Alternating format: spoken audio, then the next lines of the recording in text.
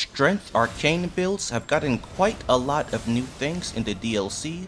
With the new things, plus everything these builds already had, Strength Arcane is not only very powerful, but also extremely versatile. The versatility is so much that I actually have 7 different setups to share, and they all use the exact same stats. You can use the timestamps in the video to skip around to which build setups you're interested in the most. Also, just keep in mind that I am on New Game Plus 3. Before we cover the build setups, there is a secret synergy that Strength and Arcane have together that is important to understand. For weapons that on a standard affinity scale exclusively with Strength and no other stat at all, if you put a weapon like that on an occult affinity, it will get a B scaling in both Strength and Arcane, essentially making it like a quality affinity except arcane instead of dexterity. So once you start to get high enough level to pump more points into those stats, occult actually results in higher damage than heavy for these pure strength weapons. There is also a bit of a secret with the blood affinity as well. The amount of blood loss a weapon gets on blood affinity is higher for heavier weapon classes, with colossal weapons and swords getting the most. So even though these are big slow weapons, they can still be adept at applying bleed, especially with the right Ashes of War. And these weapons also maintain a B scaling in strength on blood affinity, so they can still have a high AR. The first weapon that we are using that utilizes this synergy is the Sword Lance. This is one of the new weapons and is a heavy thrusting sword. But Sword Lance is unique in that when put on a status affinity, it gets the same status buildup as a colossal weapon, so we put it on bleed, and with my stats, get 169 blood loss. And since this is a heavy thrusting sword, we can pair it with a great shield, and the light attacks can be used while holding the shield up, which can be great if facing a very aggressive enemy. But even better than that are the Ashes of War that we can use on this weapon. I have two build up setups for Sword Lance. The first one is using the Impaling Thrust Ash of War, this is a fast, hard-hitting skill that deals a high 33 stance damage without any buffs. If we use the Stone Barbed Tear, that goes up to 43, and can be taken up even farther to 51 with Stormhawk Deenh. Stormhawk Deenh is a spirit summon that provides an Aura buff, which buffs physical damage by more than Golden Vow, but also increases stance damage by 20%, so it's a fantastic summon to use in any strength build but just know that it doesn't stack with Golden Vow.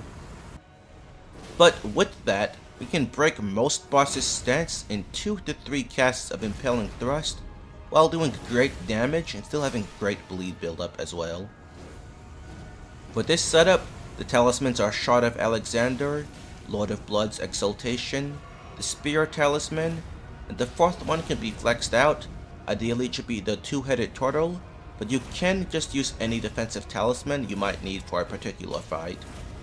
And in the Wondrous Physick, the Stone Barbed Tear, then the second one can be whatever you want. Stamina Recovery or the Opaline Heart Tear are both great picks. And now for the second Sword Lance build, we put it on the Blood Tax Ash of War. This hits 3 times in rapid succession, while healing on each hit. Blood attacks can't be put on colossal weapons, but Sword Lance can cheat around that because it has that colossal level bleed despite not being a colossal weapon. So Blood Tax is going to be applying 169 bleed on each hit. And this skill is not only great for applying bleed, but also stacking consecutive attack buffs. With those two things combined, this setup does excellent damage while having a bit of added sustain. For this build, we use Shard of Alexander, Lord of Blood's Exaltation, Rotten Winged Sword Insignia. The fourth slot can be Millicent's Prosthesis, Godskin Swaddling Cloth, or any defensive talisman you want. And in the Wondrous Physick, Thorny Cracked Tear plus the Blood Sucking Tear. Since we will be healing often with Blood Tax, the HP drain of the Blood Sucking Tear is not a big deal, so that's an entire extra 20% damage this build gets to utilize. Moving on from Sword we aren't using a new weapon here, but it is on a new Ash of War, and the weapon is Prelate's Inferno. It should be Giant's Crusher, but I prefer the looks of the Prelates, and their AR is pretty similar anyway.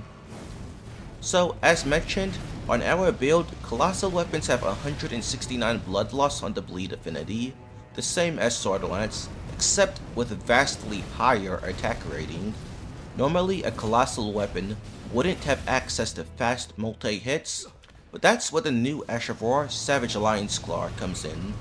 Savage Lion's Claw is a lot like regular Lion's Claw, except it has a follow-up attack that hits twice, making the Ash of War a fast 3-hit combo, and all three of those hits apply that 169 bleed and can stack consecutive attack buffs.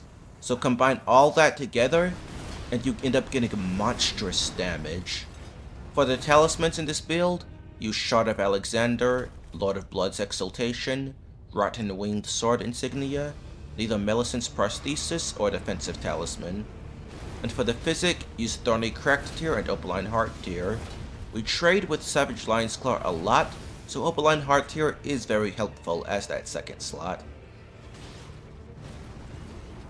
Next up is another bleed weapon, one that you've probably heard a lot about already, the Bloodfiend's Arm.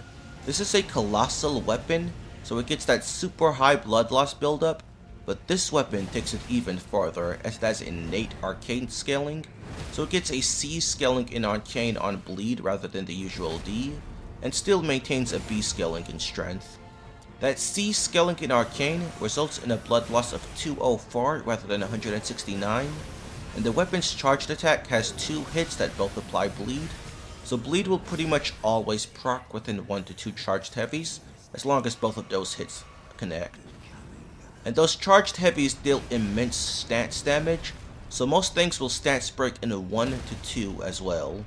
And we can make enemy stats break in, in even just one charged heavy, with the combination of Stormhawk, Stormhawk Deenh, Stone Barbed Tear, and the Ash of War we are using, Cragblade.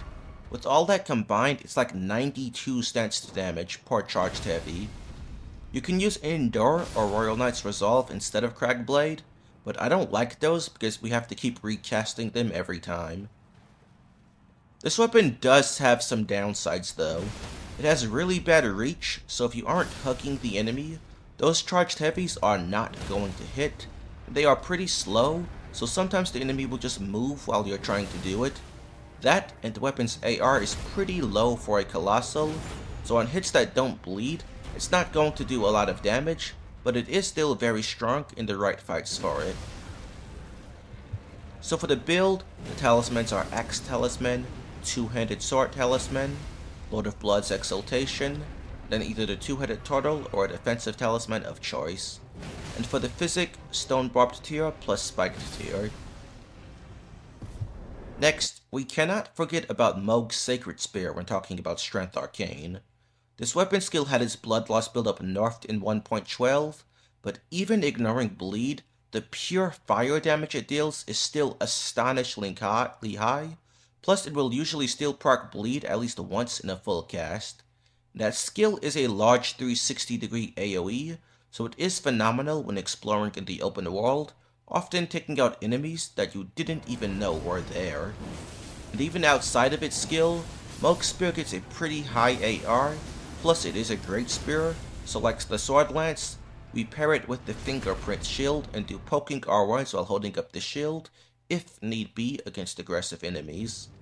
Not much more to say about this weapon, it's just the full package. So for the talismans, use Shard of Alexander, Lords of Blood Exaltation, Fire Scorpion Charm, and the two-headed turtle or your defensive talisman of choice. And in the Wondrous Physick, use the Flame Shrouding Tear and the Stone Barbed Tear. This weapon does surprisingly good stance damage when given the Stone Barbed Tear. Moving on from bleed stuff, we have another new weapon, the Ancient Meteoric Ore Greatsword. This weapon is primarily used for its skill that allows it to quickly close distance while dealing great damage at the same time. This is extremely useful when facing enemies that like to back up a lot, as now you are doing damage at the same time as closing the distance with them. While this skill is great and you will use it a lot, I find it important to not overly rely on it, as this is a still a big bonky colossal sword, so it has excellent heavy attacks and jumping attacks that you'll want to use often as well. For the talismans on this one, we use Shard of Alexander, the two-handed sword talisman, either the claw or axe talisman depending on if you do jump or charge attacks more, and then the last slot is the typical two-headed turtle or defensive talisman of choice. And for the physic, stone barbed tear plus the spiked tear, but if you find you don't charge attack often, you can replace the spiked with anything else. The last weapon we are using is the Maria's Executioner. This is a greatsword with a skill that quickly ramps up consecutive hit buffs, allowing it to melt through health bars under the right circumstances. And the skill can even stun lock most things the size of an omen and under. Also, since the weapon is light enough, we can pair it with our fingerprint shield. We can't poke with the sword from behind the shield, but having the shield is still extremely useful for times when it will be easier to block an attack than dodge, plus being able to utilize guard counters is never bad. So for the talismans, Godfrey Icon as this is a charged ability, Bright Ring Sword Insignia, Millicent's Prosthesis, and Shard of Alexander. And for the physic, Thorny Cracked Tear, the second one is flexible, Stone Barbed, Opaline Heart Tear, other stamina recovery one are all great. Now that we've covered those weapons and their talisman and physics setups, let's talk about armor and stats. For the armor, here's what I've been using for every build. Helmet is always white mask, the buff is way too good to not use. Chest piece, Gravebird's Black Quill as it buffs jump attacks by 10% and the wings look cool. I don't jump attack that often, but when I do, the buff is nice to have. And then just two random pieces to get to 51 poise while still medium rolling. However, when you're using Mohg's Spear or the Sword Lance on Blood Tax, you'll want to be using two pieces of Ansbach set. I didn't use it in this video because I didn't know that was a thing until I was already done recording all of this, but Ansbach set increases the damage of Mohg's Spear and blood skills like Blood Tax by 3% per piece. However, it's a very light armor set, so you'll want to just use the gloves and greaves while using a heavier chest piece to ensure you still hit 51 poise. And you'll stick with the white mask since it provides a larger buff compared to the Ansbach's helmet. And now for the stats, remember I am on New Game Plus 3, so I'm currently at level 262, I have 60 Vigor because it's mandatory, 50 Endurance because that's how much we need to use the Fingerprint Shield with the weapons we use it with, 80 Strength and 80 Arcane to maximize our damage from those stats. You can reach 80 Strength with only 54 Strength when two-handing. However, we're not always two-handing, so getting to 80 is still nice. Then there's 14 Dexterity for minimum requirements to use all the weapons, 25 Faith to be able to cast our buffing incantations like Golden Vow and Flame Grant Me Strength.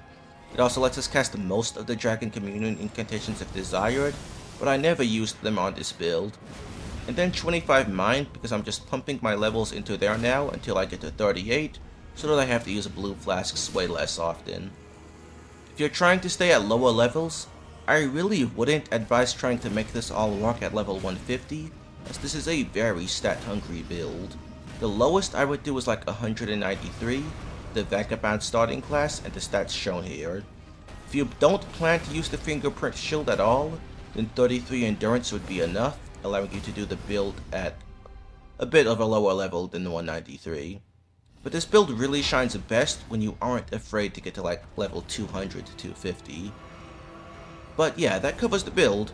Overall, all of these build setups are very strong in the right scenarios, and having the freedom to swap between them all for different encounters keeps it feeling fresh and fun at all times, and prevents you from really ever having a bad matchup as well. This is easily my favorite non-dragon build that I've played so far. So if you liked today's video, please be sure to give it a like and subscribe and comment your thoughts below. And if there's a build you want me to make a video on next, please let me know in the comments. Thanks. Goodbye.